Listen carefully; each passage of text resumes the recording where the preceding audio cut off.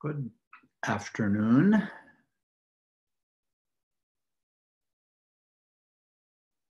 Bowden is present. Wow. Hi, David. Good afternoon.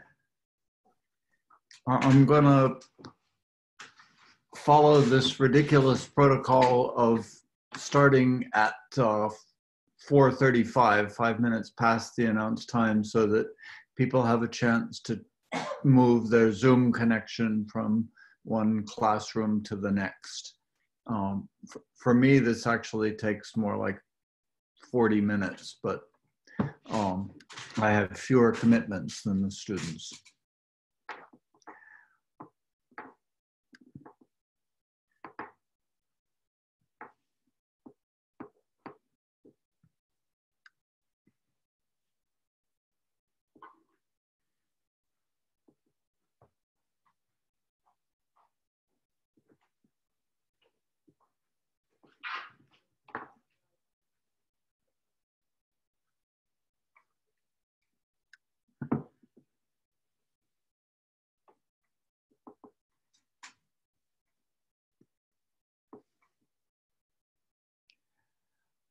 I, am going to go ahead and, and see if I can uh, share my screen properly. Um, and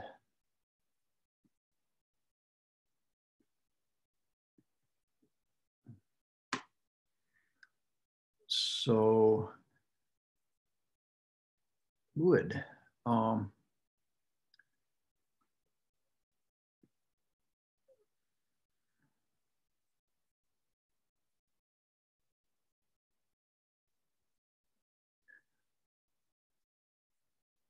Oh, uh,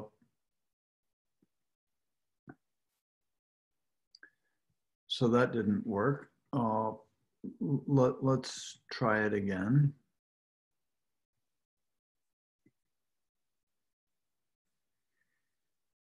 Um,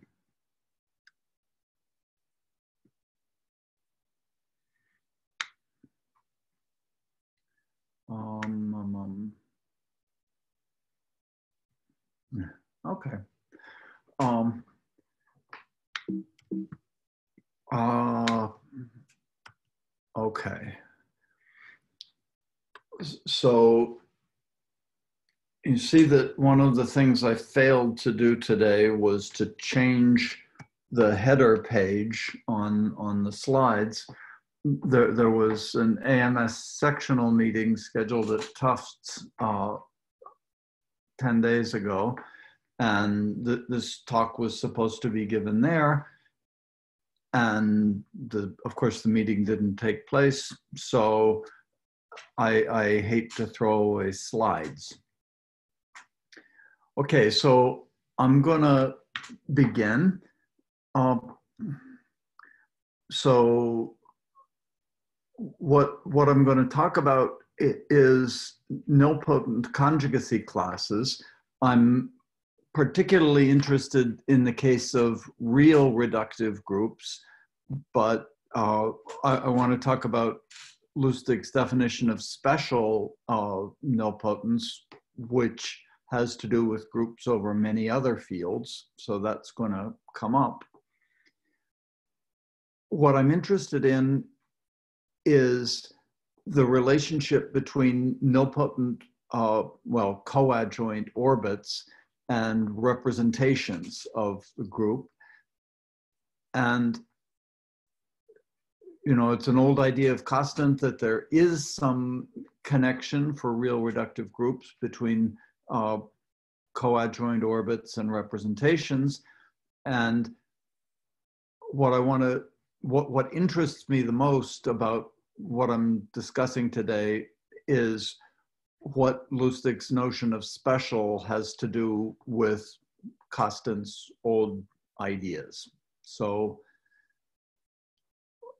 so I, I haven't actually read these slides for a few weeks, so it'll be a surprise for both of us. So uh, G of R being a real reductive algebraic group is not a big surprise.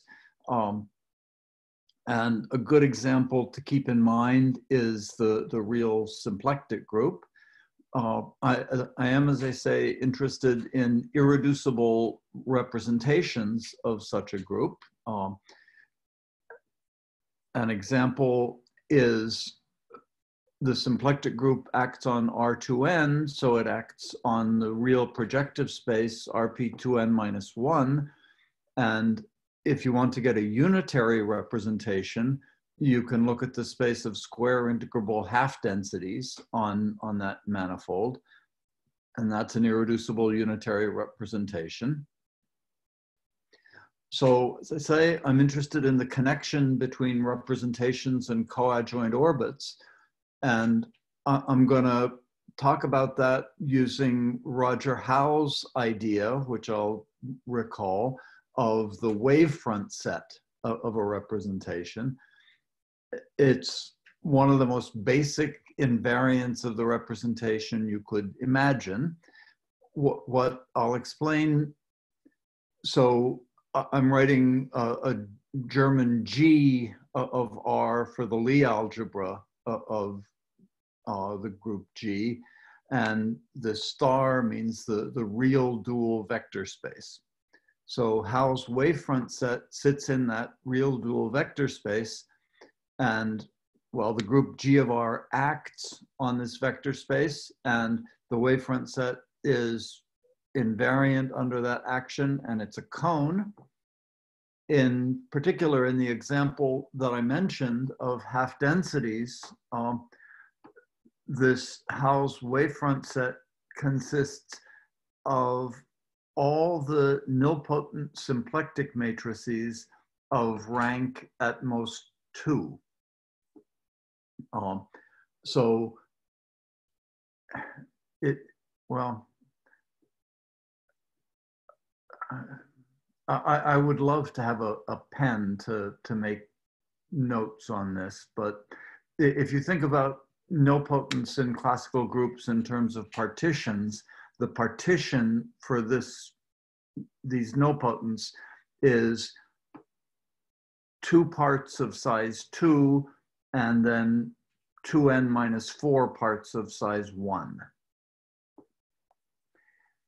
If, if you take uh, a generic irreducible representation of the symplectic group. So generic in the sense of automorphic forms or just in the uh, usual sense of typical, then the wavefront set consists of all nilpotent symplectic matrices. What, what's going on is that this wavefront set encodes interesting information about the representation. So Another uh, old theorem of Kostant is that the group action, uh, the, this G of R action on, on the dual of the Lie algebra has a finite number of nilpotent orbits. And Howe showed that this wavefront set that he defined is a finite union of those nilpotent orbits. What I am going to focus on a little bit today is a result that, that comes uh, from various things that George Lusztig did in the 1980s, that if the representation of the symplectic group is integral in a sense that I'll explain, then the wavefront set is not a random nilpotent orbit, but, uh, well, uh, when, when I say the wavefront set is special, what I mean is that it's the closure of some special nilpotent orbits. Um, so this, well, th this slide is, it, it's sort of telling you all the things that I need to explain in, in this talk. So you're not supposed to understand everything that I wrote here well, when I say you're not supposed to understand everything, you should bear in mind that this talk was written for the meeting at Tufts. And one of the things that I knew about that meeting was that George wouldn't be there. And, and so uh, some of you are supposed to understand all of this, but not all of you. So I'll try to explain what, what the words on this slide mean. So um, the, the first thing is, is Howe's wavefront set.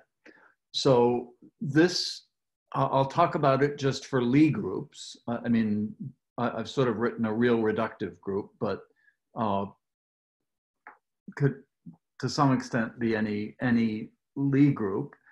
And Howe takes an well, it doesn't even have to be irreducible for Howe, uh, a, a nice representation on a Hilbert space, and he defines a wavefront set uh, inside the dual of the Lie algebra.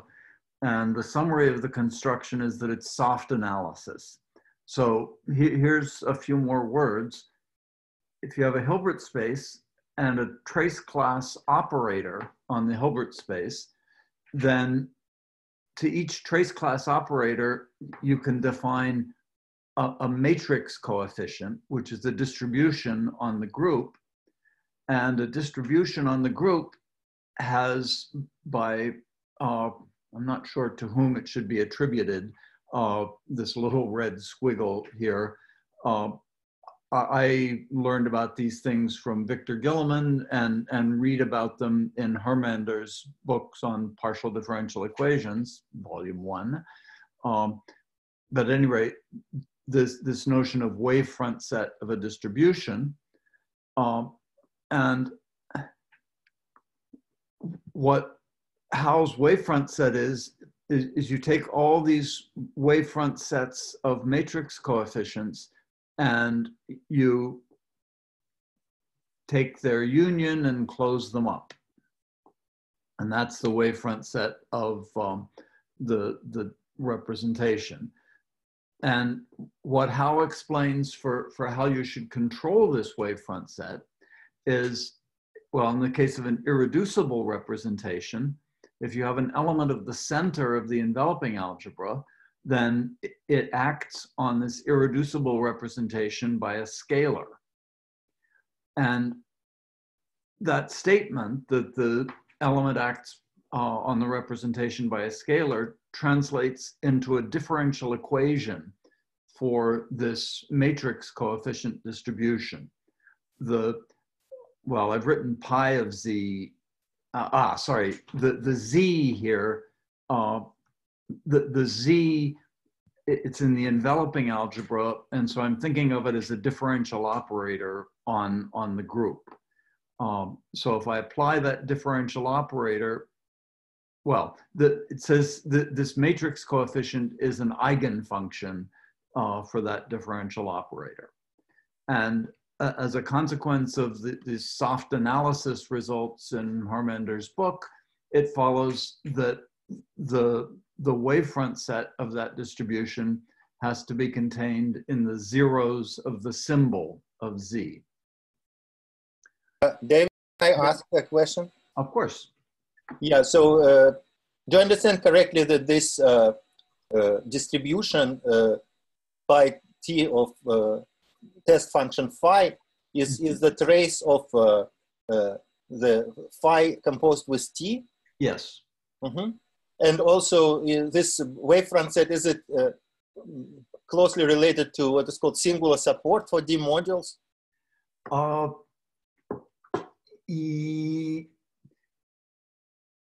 close is a strong term. Um, it, it's, it's not a simple relationship. There, there are, there, there's a really deep and complicated paper by Schmid and Vilonen in the 1990s, which establishes a, a very precise relationship between the wavefront set and the well, the, I mean, the singular support for a D module is somewhat more complicated. It's, it's spread out over the whole flag manifold. Uh, but Schmid and Vilonen explain how if you know the singular support for the D module, then you can compute the wavefront set in this sense. Um, uh, it, it's, well, it, it's tricky because uh, in the D module picture, typically you're talking about Harish-Chandra modules and things are equivariant for the complexification of a maximal compact. In Howe's definition, things are equivariant for the full real group. And this is a kind of standard thing in the theory that, uh, I mean, starting with Cartan, that there's nice relationships between those two settings, but really to relate this uh, distribution theoretic wavefront set and, and the G of R orbits to the uh, D module singular support and, and complexification of K orbits, that's, that's a, that's a hard thing, but, but that's what Schmid and Vilonen did. Um, so yes is the answer to your question. Um, okay, so uh, th these central elements in the enveloping algebra, their symbols are exactly the homogeneous polynomials in the invariants of the symmetric algebra.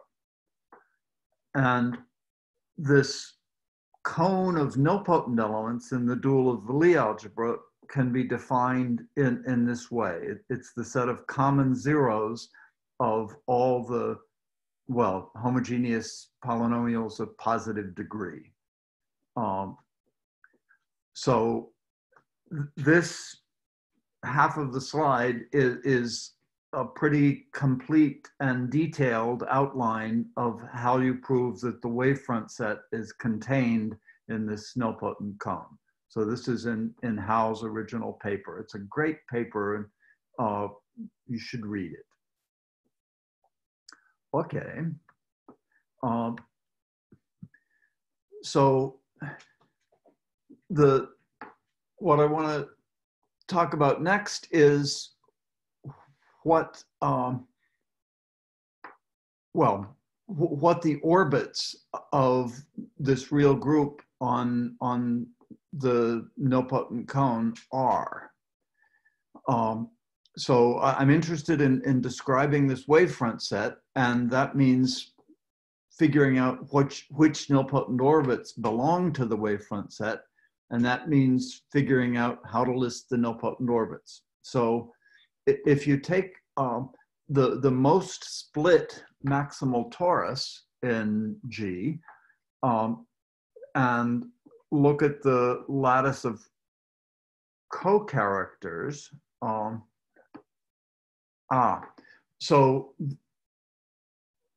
I, I'm using this X lower star notation in a slightly odd way. I forget what the H is supposed to stand for, but um, I, uh, I mean, of course, if you have a complex torus, this X lower star of the complex torus is the algebraic maps from C cross into the complex torus. But here, uh, I just want to look at those algebraic maps that are defined over R. So uh, th this, it, it's a, it, it's a sublattice of the usual co-character lattice of the complex torus. Anyway, if you have one of these co-characters, it defines uh, a z grading of the Lie algebra uh, according to the weights uh, of the uh, well the co-character um, and so in, in particular the zeroth level uh, of the uh, of the grading is a real Levi subgroup I mean, this is a Levi subgroup of a real parabolic. Um, and uh, according to very general results, which I don't know, I, I saw them in Vinberg from long ago, uh, this Levi subgroup has open orbits on each non-zero level of the grading. Um, and uh, more or less what's true is that if you have a real nilpotent orbit, then you can find one of these special co-characters with the property that first the orbit meets level two of the grading in an open set. And second, this co-character, well, if I regard the co-character as, as an element of the, the real Lie algebra, it belongs to, to the bracket of the two level and the minus two level of the grading. Um, so th this map from the orbit to, to the co-character uh, is, is well defined up to the action of the Weyl group. And in this way, you get a finite to one map from these nilpotent orbits to uh, certain dominant uh, co-weights. And uh, let's, I'm, I'm trying to, um, um, uh, well, uh, anyway, uh, the bottom of my screen was obscured by the uh, pictures of people. So I, I, moved the pictures of people. I'm not, uh, probably on your screen it wasn't obscured, but who knows. Um, so uh, if you take the, the dominant co-weight that you get in this way, uh, that's called the Dynkin diagram of, of the orbit. Um, what, what happens is this dominant co-weight defines, takes a, a non-negative integer value at each simple root. And it turns out that value is zero, one, or two. And the way people write these orbits is by writing the Dynkin diagram of the group and putting a zero, one, or a two on each vertex. And then uh, the statement is that if once you put a zero, one, or two on each vertex, then there's a finite number, possibly zero, of nilpotent orbits with that Dynkin diagram. Okay. Um, uh, why, why won't this? Ah. I need to move my uh, my pictures of you again. Um, um, so I want to say something about the structure of one of these orbits. So as I said, you, have got this co-character, this map from R cross into uh, the, well, into the real group. Uh, and then the, this level two grading, this is the places where this R cross acts by squaring. Um, and that that's a vector subspace and the the orbit is meets that vector subspace in an open set um, and uh, yeah so i just wrote again the, the definitions of the levels of, of the grading uh, and ah, this thing which i stated which i said aloud on the previous slide that uh, the Dynkin diagram on each simple root uh, takes the value 0, 1, or 2. And so that partitions the, the simple roots. You've got the ones where it's 0, the ones where it's 1, and the ones where it's 2. And this Levi subgroup that I mentioned, uh, that's the centralizer of D. Of course, that corresponds to the vertices in the Dynkin diagram, the simple roots where uh, alpha takes the value 0 um, the the minus one uh, weight space is a sum of irreducible representations of this Levi subgroup. The highest weights of those irreducible representations are the negatives of the simple roots on which D takes the value one. I, I should really have drawn uh, an example or three of this. Um, actually, part of the problem is that this was meant to be a 20 minute talk at Tufts. And, and so uh, it was important not to give a lot of examples. Uh, David, can I ask a brief Of course.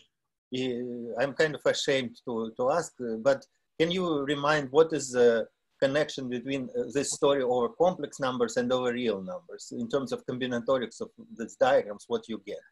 It's exactly the same over the complex numbers. Uh, so uh, I, I the group is not split, is it? Or the group is not split. Um, the the point is, if you have the point is, if there is a non-zero nilpotent element, the group has to have some split part, and and so you, you've you've got um, this map of R cross into the group. Uh, the the you know you don't have a whole rank of G uh, family of commuting R crosses, but you've got some, and the nilpotent orbit ha has to correspond to some of those that survive. So in, in the complex case, I mean, of course, you you couldn't choose any zeros, ones, and twos and, and get a, a, a dominant co-character. And it's still the case, not all of those will define nilpotents, but um, th this open orbit bit in the complex case, I mean, it's a Zariski open set, so it has to be dense. So in the complex case, there's only one nilpotent for one of these diagrams. Um, so it, it, for, for classical groups, a, a nilpotent in a classical group acting on an n-dimensional space, the, the nilpotent corresponds to a certain partition of n. And, and this uh, diagram with the zeros, ones, and twos is telling you exactly what that partition is. Um, the partition in the case of a real group isn't quite enough to tell you which nilpotent it is. That there are some quadratic forms that you have to worry about what signature to use and things like that. Um, but you know, I, I don't know if that's sort of an answer to your question. Yeah. So so basically, what you're saying is that uh, is, is didn't I understand correctly that you, you have a, a certain collection of D's which correspond to orbits for the complex group, and then for the real groups, uh, there are finitely many, possibly zero orbits corresponding to that diagram. That's exactly correct. That's exactly. And that correct. classifies them. Okay. That that's well. I mean, since I've told you nothing about how to tell how many such such uh, nilpotents there are for the complex one, it, it's that's not a very successful classification, but right. no. it, it's yeah. good enough for what, what I'm interested in is singling out this notion of special nilpotents. Okay. And the if you have a special complex orbit, all the real forms will be special. So uh, this is good enough for our purposes. Okay, so um, so so now I, I want to take some representative of uh, my nilpotent orbit in this level two uh, eigenspace. And I want to understand the isotropy group for that nilpotent. I mean, of course, the orbit is a homogeneous space. The orbit is g divided by g upper lambda. So understanding the orbit partly means understanding the homogeneous space. Um, so, so here's the structure of the isotropy group. Um, it, th this G upper D is the Levi subgroup. And so, and, uh, and, and well, I, I skipped over this parabolic subgroup that's defined by the co-character um, what happens is that uh, the, the stabilizer of, of this nilpotent element respects that Levi decomposition of the parabolic. So it's the product of these two pieces. Um, and let's see how I, uh, uh, okay. Um, um, and uh, th this unipotent piece, well, this, this U upper lambda, this is a unipotent, connected unipotent subgroup. And so to know what it is, you just have to know what the Lie algebra is. Uh, and that's, that unipotent group is graded uh, by the same, uh, by, by the eigenvalues of D. You have a bunch of positive eigenspaces. And all these de decompositions are defined over the reals. Okay. So, uh,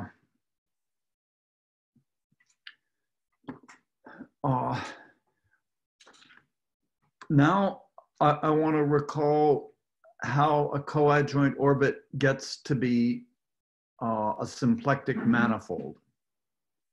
So, so this is, is the, these first few lines are, are just um, what I said on the previous slide that, that I'm, I, have got this nice co-character which gives a grading of the Lie algebra. And I, I'm taking this nilpotent element in the level two of the grading. And then the tangent space to this coadjoint orbit is the quotient of the Lie algebra by this isotropy group and here's what it is. Uh, you, everything, the isotropy group is graded by D, so, so this uh, tangent space inherits the, the grading. The, the minus one level is, is the full minus one level of coming from, from the group. Then the other levels come in pairs. Uh, the, the negative levels, the minus two, minus three, and so on, there's, there's nothing centralizing the nilpotent in there. And they come with a positive, well, anyway, th this is the way I choose to, to write uh, the decomposition. And the coadjoint orbit has this uh, symplectic form, uh, which it's a very general thing about coadjoint orbits. There's the definition. You, you apply the linear functional to the bracket of two Lie algebra elements. Um, and what happens is this decomposition that I've written up above is a symplectic decomposition. This uh, GD of minus one is a symplectic submanifold. The, the uh, form is non-degenerate there. And these pairs of spaces, each of them is identified with the dual of the other uh, using the form. Um, okay, uh, this form is a key part of how you're supposed to relate the nilpotent orbit to representation theory. And what I'm more or less, well, the, the theorem uh, in this talk uh, is a conjecture of Meinolf Geck, uh, which is that an orbit is, oh, this was, the, uh, I, I just mistyped. Uh, th this is meant to be a, a, a calligraphic O. Um, the, the orbit is special if and only if this symplectic form is integral in, in a sense that Geck defined, which I'll explain.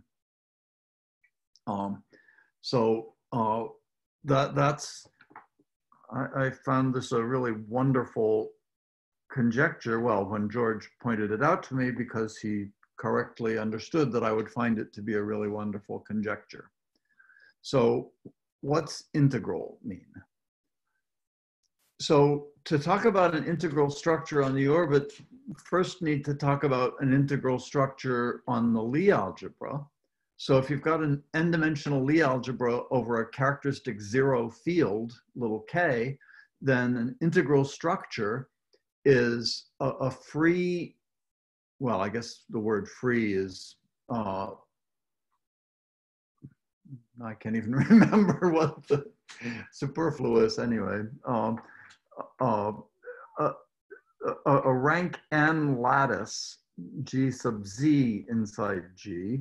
And what you require about this lattice is that if you extend scalars to the field, uh, you, you get the Lie algebra, and the, this lattice should be closed under Lie bracket.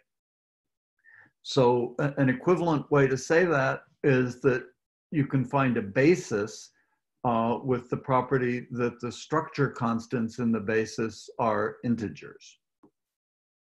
So uh, here, here's an example in SL2, the everybody's, or well, it ought to be everybody's favorite basis of SL2, uh, consisting of this diagonal matrix, uh, upper triangular and lower triangular.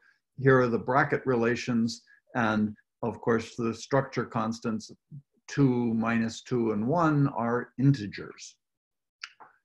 So here's another example, which is kind of completely different. Um, I, I, suppose, well, maybe this one is famous because of Dirac. I'm, I'm, not, I'm sure it goes back further than that.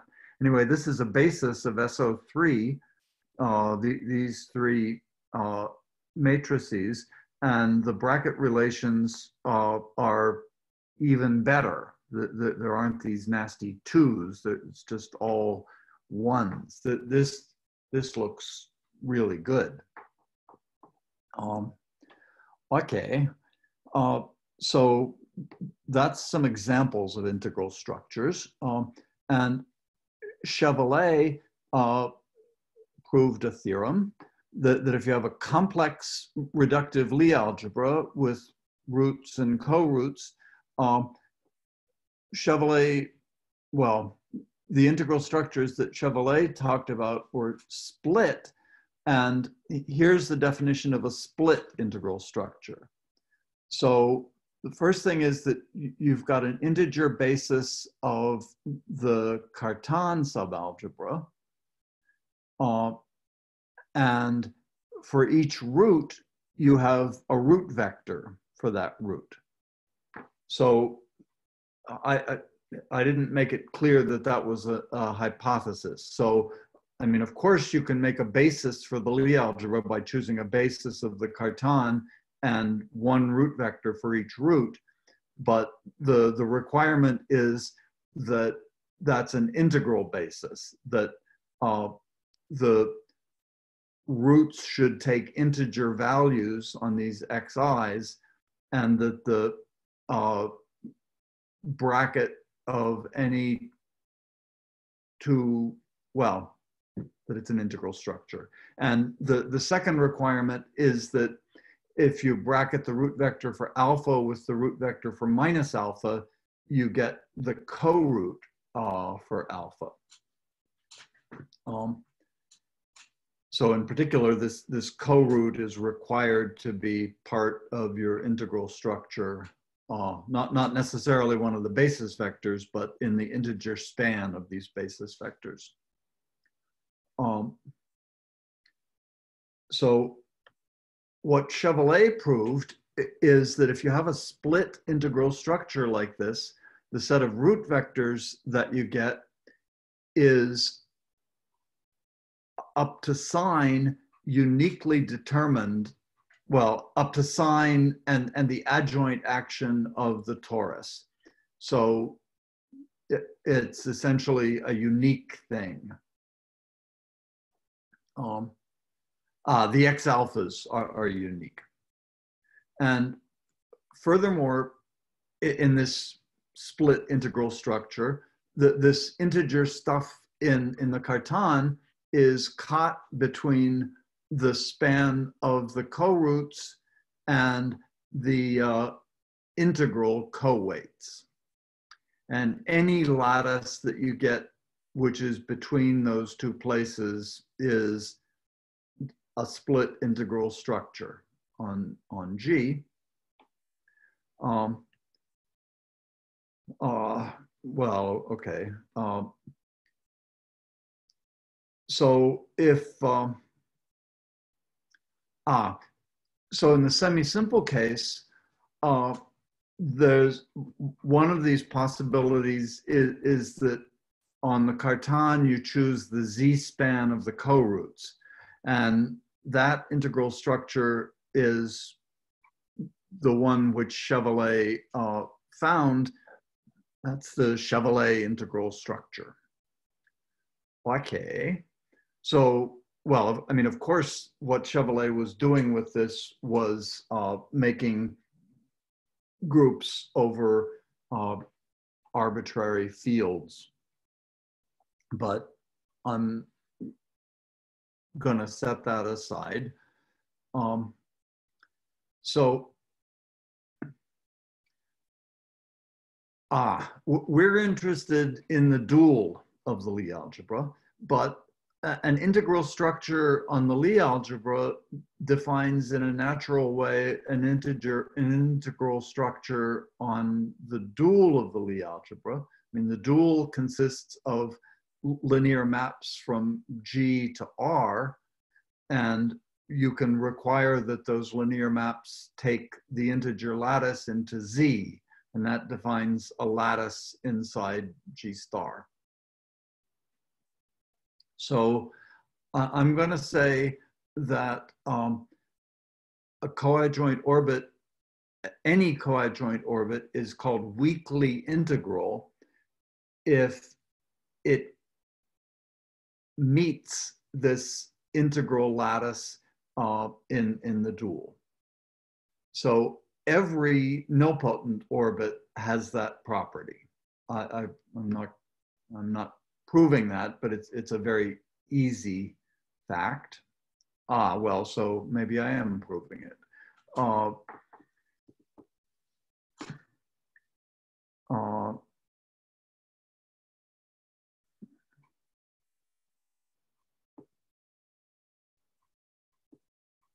well, so what it means, the, this element D uh, for the nilpotent is automatically in the co-root lattice and therefore uh, in the integral structure. Uh, and, and the statement, well, the statement is that you can find something in this level two eigenspace, which is an integral element. Um, and what that means is you, you need it, you need the value that this lambda takes on each level two root to be an integer. Uh, and in that way you get a, a, a, a representative that's in this G star Z. Okay, once you've chosen uh, uh, this, this integral representative, the symplectic form becomes uh,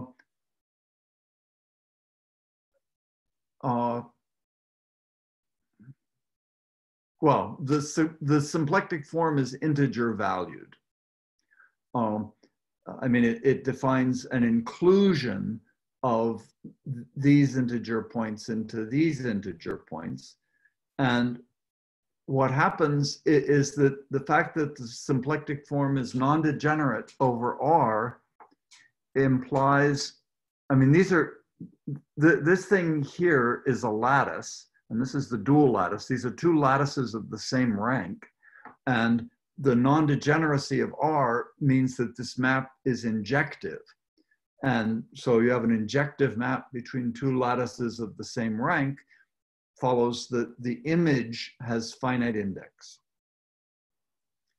Um, so the, how do I say it? The, this, um, let, let me uh, go back to the weight space. Ah, th this decomposition of, of the tangent space. That there's this minus one level And then there are these other more boring levels. Uh, and what, what I, I want to say is that this integral structure respects that decomposition. Um, you, get from, from this map on the whole Lie algebra up here, you get all these pieces and each, at, at each level, you've got a, an injection from a lattice into another lattice of the same rank. Uh, and each, so each one of these maps has, the image has finite index and, and this n lambda is the product of, well, the indices for, for these things and the index for this symplectic form here. Okay, so I, I want to say that my lambda is strongly integral if uh, this number n lambda is one. In other words, that this integral symplectic form is non-degenerate over the integers. Non-degeneracy, oh, well, I, I, have this product formula for, for uh, the n lambda, and so non-degeneracy means that every one of these factors has to be non-degenerate. So Geck's definition of integral is just about this minus one eigenspace. It's just about this level here. Geck wants this symplectic form to be non-degenerate over Z. So that's a Geck integral is a weaker condition than strongly integral. Okay. Uh, now I'm going to set aside integrality for a minute and talk about uh, George's notion of special. So George's notion starts out in the Weyl group. Uh, so if we have this uh, G, uh, that there's a Chevalley group over any finite field, which has a Borel subgroup over the finite field. Uh, and one of the oldest facts about representation theory for this finite Chevalley group is that there's a bijection between irreducible representations of the Weyl group and irreducible representations of this finite Chevalley group, which contain a fixed vector for the Borel subgroup. So uh, I'm going to write sigma for a representation of the Weyl group. And this representation, the finite Chevalley group, just depends on the prime power q. So I'll write pi q of sigma for, for that representation of g of fq. So the trivial representation of the Weyl group corresponds to the trivial representation of g of fq, and the sign representation of the Weyl group corresponds to the Steinberg representation of G of FQ. So attached to this Weyl group representation, well, you, you can then take the dimension of, of this representation of the finite Chevalley group. And it turns out that the dimension of the finite Chevalley group representation is a polynomial in this prime power Q with rational coefficients. And that polynomial is, is, called the generic degree for, for the uh, Weyl group representation. Uh, there's something else that you can do. Uh, if you look at the complex group, this uh, com uh, this flag variety is a projective variety with cohomology only in even degrees. The, the Weyl group acts on the cohomology of the flag variety, and in fact, it acts by the regular representation of W, and the action is graded, and, and so attached, well, each representation of the Weyl group appears in, in this cohomology in various degrees. So you can make a polynomial by looking at the multiplicity in degree 2i and multiplying by q to the i. So you get a polynomial in q with non-negative integer coefficients and the value of this polynomial at one is the dimension of sigma. And George uh, called this polynomial the fake degree. It's interesting because in the case of GLN, the fake degree and the generic degree are exactly the same. And for other groups, they have an interesting relation. So I want to define two numbers for each Weyl group representation you, you might think you should define the degree of these polynomials, but instead of the degree, I want to look at the lowest power of q that appears in, in each polynomial. So a tilde sigma is the lowest power of q that appears in p tilde, this uh, thing about finite Chevalley groups, and a sigma is the least power of q that appears in p sigma. So Lusztig showed in 1979 that there's an inequality. As I say, for, for this symmetric group and GLN, these two polynomials are the same, the two degrees are the same. What Lusztig showed in 79 was that there's always an inequality, that this, this uh, number coming from the fake degree sorry, the number coming from the generic degree is always smaller than the number coming from uh, the fake degree. And he defined the Weyl group representation to be special if equality holds. So for the symmetric group, every Weyl group representation is special. Okay. Um, so Springer in 1978 made an inclusion. Uh, th this is in an algebraically closed field. Uh, an inclusion, uh, well, what's written here should probably be characteristic zero. From nilpotent orbits in the dual of the Lie algebra to irreducible representations of the Weyl group. So I'll write that sending an orbit to j of the orbit. And it's very easy to relate Springer's inclusion to the fake degree. Here's the relationship. If r is the number of positive roots, then the dimension of the orbit is 2r minus 2 times the fake degree. So I, well, I should say, if the ah well if the orbit is principal then springer's j of j of o is the trivial representation. And the trivial representation of the Weyl group appears only in degree zero. The the fake degree is the constant polynomial one. And so this a tilde is zero uh, the dimension of the principal orbit is twice the number of roots. He also defined a surjection, uh, one-sided inverse to, to this J, going from Weyl group representations to nilpotent orbits.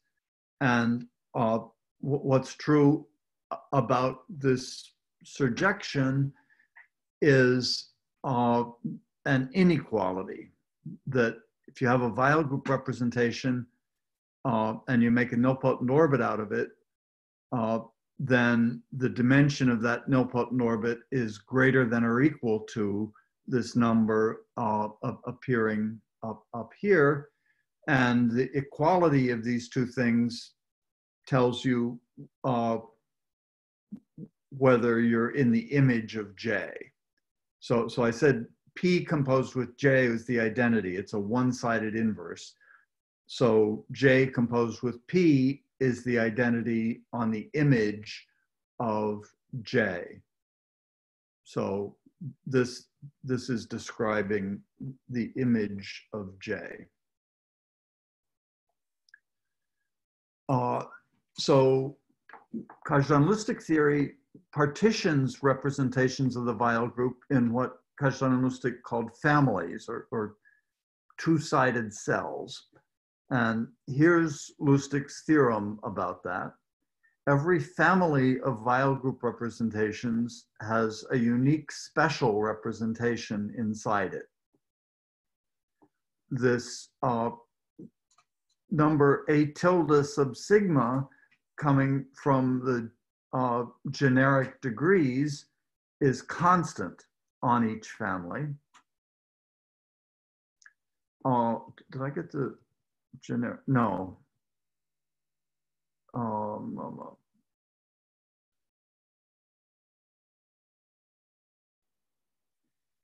okay. Sorry, this A tilde is coming from generic degrees. I forget what I said, but um, anyway, that's constant over the family. The number coming Okay. from fake degree, yes? Uh, I think the A tilde, so on this slide, um, uh, the third line, the, the A tilde there should be A. A, yes, it absolutely should be. Both both of these Both A tildes should be A's. I, I'm sorry. That's Okay. absolutely correct. Sorry. Um, yeah, the, the, the point of what I was writing up here was this was a statement a- about fake degrees, which was parallel to Lusztig's statement about generic degrees. Um, and I got it backwards. Uh, so, so up here, these should be A's. Uh, and I, I'm going to post these slides on the seminar webpage and I will fix that. Thank, thank you. Um, okay, so um, the this fake degree, uh, i it's it's always bigger than this generic degree, and equality happens exactly once um, on, on the family at the special representation. And um, the, the special representation is, well, because of Springer's description up here, that tells you that a special representation has to be in uh, the image of, of the Springer correspondence. Okay, um, so that's Lusztig's definition of special. Um, and here's um, what, um, yeah, so I, I'm, I'm recalling uh, the, the, in any Nilpotent orbit, you could find this weakly integral thing. And um, then I, said there was this notion of Geck integral, which was that the symplectic form on the minus one weight space was non-degenerate over the integers. And Geck conjectured that a nilpotent orbit is special if and only if this representative can be chosen to be Geck integral. So Geck proved this by hard computation in the exceptional groups um, and published the conjecture. And then Dong and Yang uh, the following year, uh, well, also, also Geck proved it for classical groups up to rank, I forget, 10 or 15, something like that. Uh, but it's a hard computation, and Dong and Yang uh, carried it out for all classical groups. It, it's a case by case proof using the known list of special nilpotents. That it that there's never anything that says the definition of special is this, and therefore the proof is entirely the list of special nilpotents in type C is this, and we'll calculate these determinants in type C and see that we can get one. Um, so remember I said that Geck's integrality, which was just on this minus one eigenspace, was weaker than the hypothesis that I called strongly integral, which is that this whole symplectic form was integral. And I, I don't want to elevate this to a conjecture because I haven't done enough work, but what I hope is that uh, the Geck integrality condition implies strongly integral. I mean, it's certainly not true that if you have a representative that's Geck integral, then it's automatically strongly integral. That's false. But uh, what I hope is that you can arrange most of the strongly integral condition sort of in a routine fashion. And uh, then all the hard work is on this uh, minus one weight space. I, I'll, I'll just flash back to uh, that, that decomposition. Um, yeah. Uh, so um, the symplectic form is built from one interesting symplectic form and then a bunch of places where you're pairing uh, a lattice with a dual lattice. And so what I hope is that the integrality, well, the non-degeneracy, the, the making all these maps and isomorph, isomorphisms might be something that you can just do by hand uh, in some easy fashion. And, and it's only this honest symplectic form where you have to think hard about how to get a basis and it's hard. Um, anyway, so, so if I go back to uh, the, this Geck, um, yeah, so uh, that's, um, that's the story. And uh, I hope I made another slide. Uh, Oh, yes. Ah, yes, right. Uh, I made two more slides. So uh,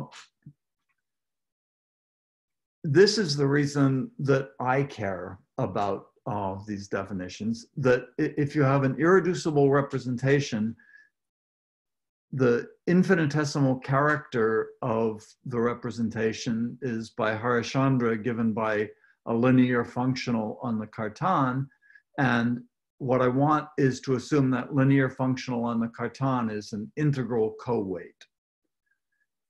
Um, well, sorry, an integral weight.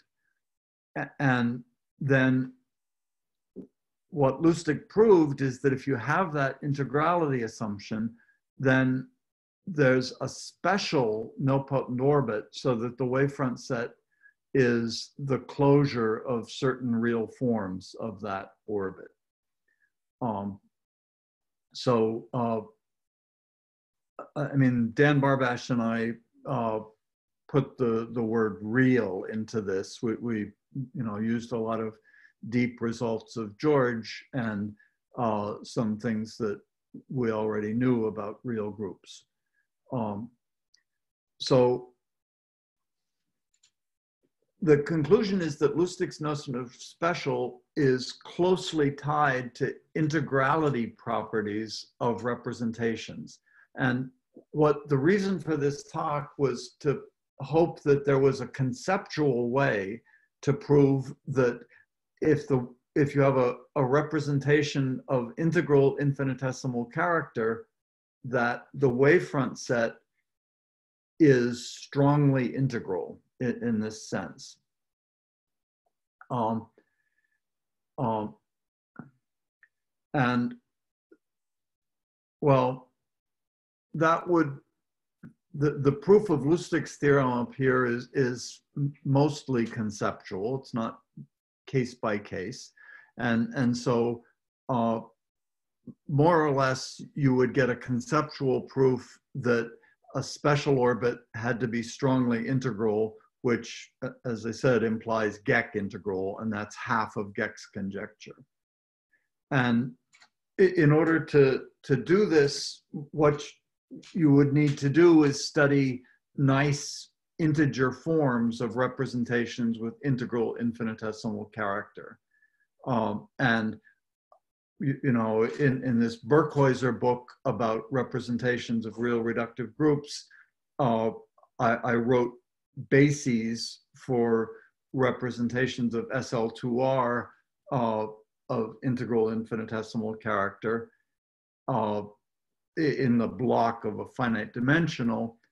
And so the, the next thing to do would be to look at other blocks of integral infinitesimal character. I mean, I wrote down bases for those also, but the bases that I wrote are not integral. Um, so I think that's the end of the talk. Yes. Uh, any questions?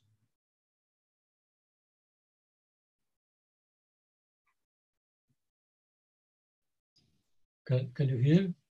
Uh, yes, I can hear. Thank. Yeah, so, so you, uh, in abstract, abstract, you said that special repetitions appear in, in repetition over local fields. So I don't, so where, how they appear, how do they appear for p-adic? I, I oh. that they appear for. So um, let, us see if I can make this go back. Um,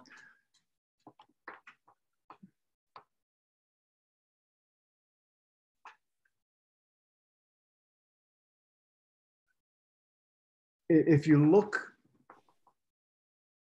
at your classification of unramified representations, or yeah, um,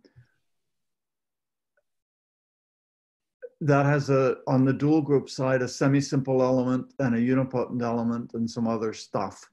Um, and if the semi-simple element is trivial, uh, that's a particularly interesting class of, of representations for the p-adic group.